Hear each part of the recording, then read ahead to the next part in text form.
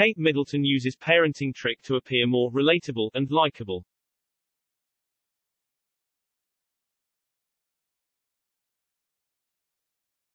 Kate Middleton and Prince William have three children, but what parenting techniques do they use to bring them up in the spotlight?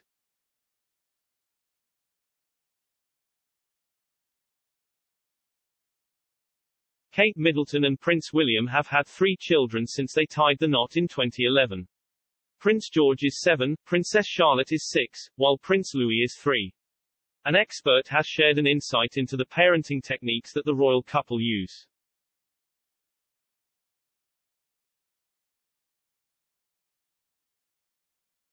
The most recent appearance from the Duke and Duchess of Cambridge came on Sunday, when the royal couple watched the UEFA Euro 2020 Championship final in Wembley.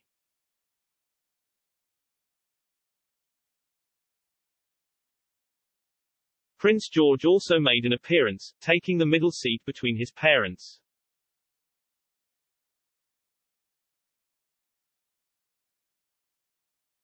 While the royal children's lives are kept quite private, they are sometimes seen out and about for special occasions.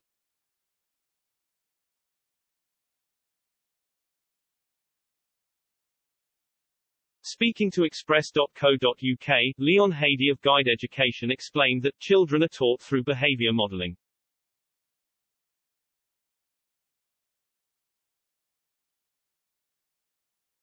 He said, if Kate demonstrates independence in raising her children, that attitude will filter down to their children who will see independence as the best way to get things done.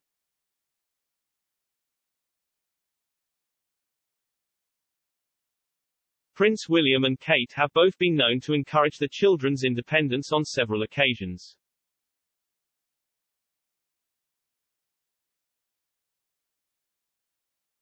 The couple have also been said to implement more modern techniques into their parenting such as showing their affection in public, which was once frowned upon in the royal family.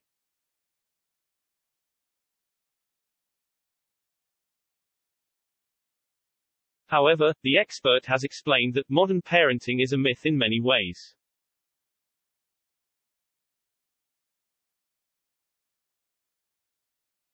He said, there are ideas of competition obsession and focusing on a specific type of success that some modern parents go for, but this is just one way to parent.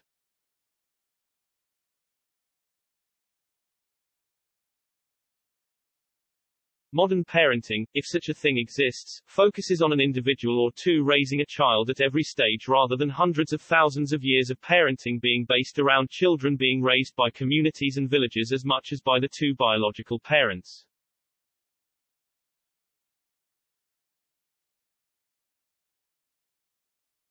One traditional parenting technique that the couple did decide to ditch when Prince George was born back in 2013 was the hiring of a team of staff to help out.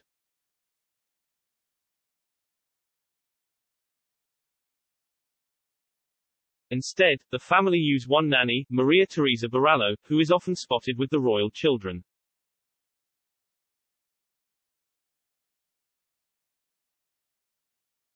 Leon explained that they may have done this to appear more relatable.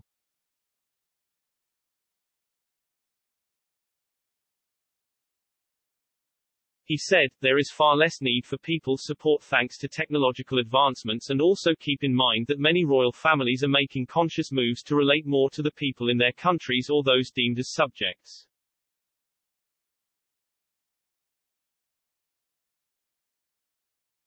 They do this in order to be relatable, likable and have relevance.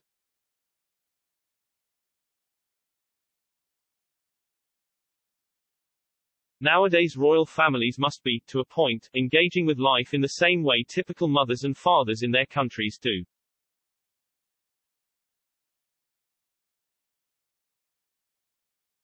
They cannot afford to be too far removed from the norm, at least not with an issue such as parenting that is very much in the public eye.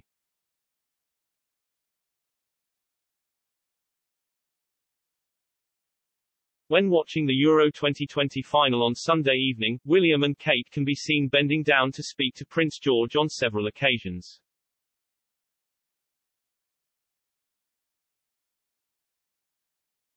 The couple also regularly do this when speaking to their other children, Charlotte and Louis.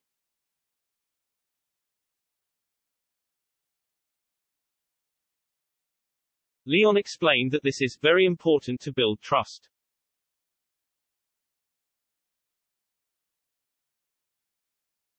He added, being close, at eye level, speaking with a reassuring tone creates a feeling of understanding and closeness that assures a child and make them feel connected better to the parent. Very good, supportive practice.